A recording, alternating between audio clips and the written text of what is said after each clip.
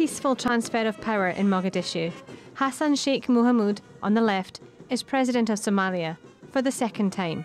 It's hoped his appointment will draw a line under a political crisis that's lasted well over a year. Today is a historic day that we should always remember. The outgoing president handed the office over to me peacefully. I request all Somali people, wherever they are, to support me. But he wasn't elected by Somalia's 16 million people, not even close. A popular vote was considered impossible due to widespread insecurity. So the president was elected by just 328 lawmakers, who were themselves chosen by clan representatives. The entire process was characterised by backroom deals, vote buying, and corruption. It took place in Mogadishu's reinforced green zone, far removed from the lives of most Somalis. A severe drought across the country has led to hunger and hardship. The UN has repeatedly warned of a human catastrophe.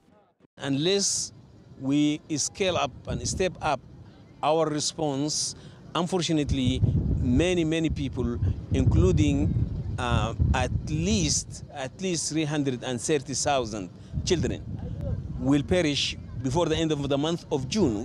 The UN itself has been targeted in Somalia.